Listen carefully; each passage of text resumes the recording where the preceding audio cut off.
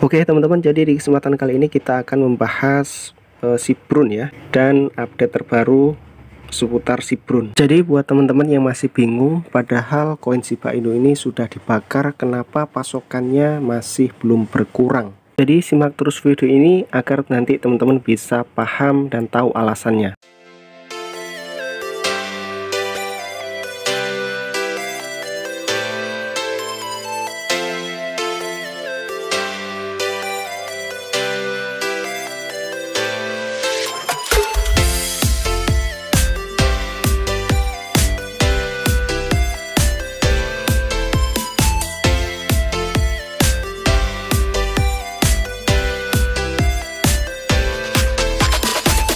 Assalamualaikum warahmatullahi wabarakatuh. Selamat berjumpa kembali sahabat channel Crypto Farm semuanya. Apa kabar teman-teman semua? Semoga tetap selalu diberikan kesehatan, kelancaran, dan kesuksesan selalu ya. Amin.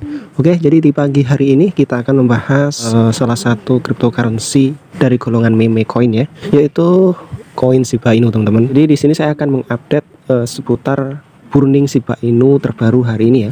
Namun sebelum selanjut pembahasannya, untuk teman-teman yang baru berkunjung di channel Crypto Farmers ini, silahkan saja klik dulu tombol subscribe-nya dan aktifkan tanda notifikasinya agar nanti teman-teman bisa mendapatkan info-info terbaru seputar cryptocurrency dari channel Crypto Farmers ini masalah burning Shiba Inu ini banyak banget yang mengatakan bahwasannya bahkan menanyakan ya kenapa sih padahal sudah dibakar begitu banyak koin Shiba Inu tapi jumlah pasokannya tidak berkurang sama sekali.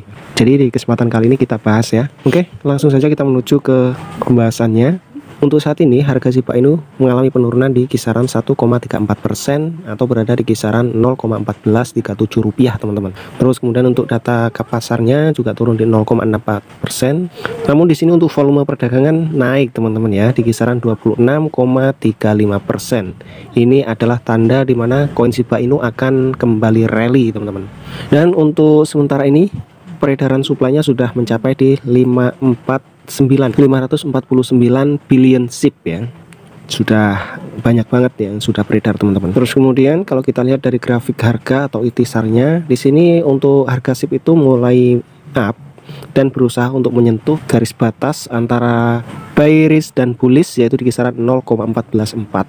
Jadi berusaha naik menembus garis ini teman-teman. Oke terus kemudian untuk lebih singkatnya kita langsung saja menuju ke pembahasan burning Shiba Inu ya. Kenapa sih untuk burning Shiba Inu itu sudah banyak dibakar tapi masih aja suplainya tetap segitu-segitu aja? Nah jadi di sini teman-teman teman-teman bisa lihat untuk total maksimal koin Shiba Inu ya yaitu berada di 999 triliun koin ya. Sedangkan yang sudah dibakar ada 400 10 triliun koin. Jadi sisanya di sisa total suplainya itu sekitar 559 teman-teman. Teman-teman bisa paham ya. Jadi 999 ini dikurangi 410 ini.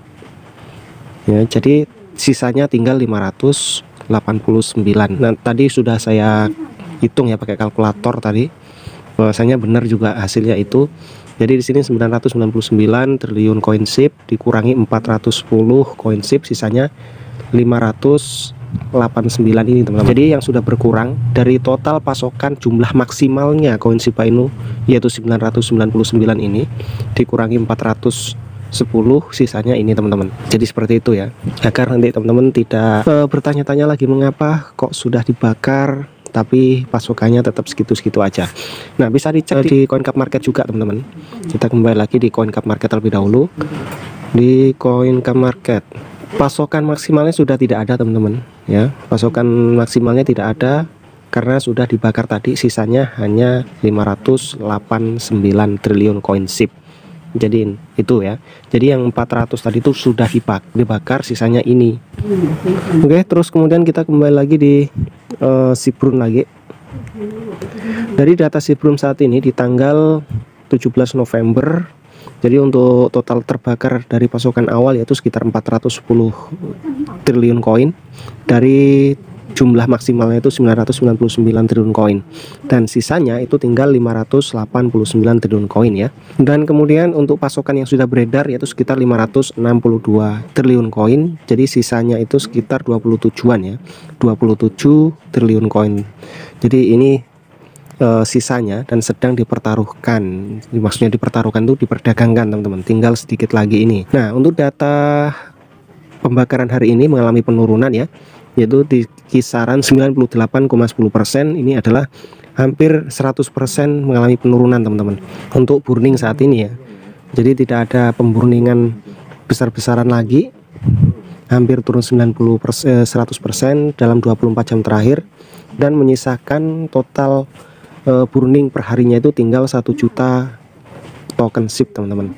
Nah yang awalnya itu berada di kisaran 50 juta token per hari ya ini 50 juta token per hari tapi sekarang sudah menurun hampir di nol teman-teman. Tidak ada pembakaran yang uh, begitu besar dari koin Shiba Inu. Nah ini adalah transaksi burning saat ini yang sedang berlangsung uh, yaitu ada 6500 token SIP 3000 jadi sedikit-sedikit.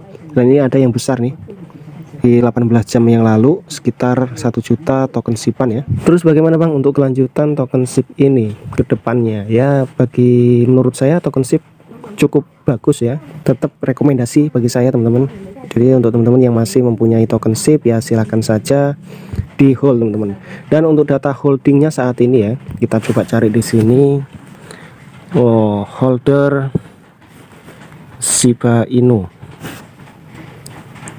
Nah, di sini kita bisa lihat di etherscan.io bahwasanya untuk jumlah holder Shiba Inu itu semakin hari semakin meningkat, teman-teman. Dan ini teman-teman bisa lihat di tanggal berapa nih? Kita cek nih. Ini di tanggal 16 kemarin. Terus kemudian di tanggal 17 saat ini. Ya, 17 November 2022 jumlah holdernya itu mencapai di 1.269.740 holder. Jadi tidak ada peningkatan dari tanggal 16 eh, kemarin masih tetap ya belum ada penambahan dan jumlah transfernya itu sudah mencapai di 8.970.61 oke jadi itu teman-teman untuk informasi kali ini.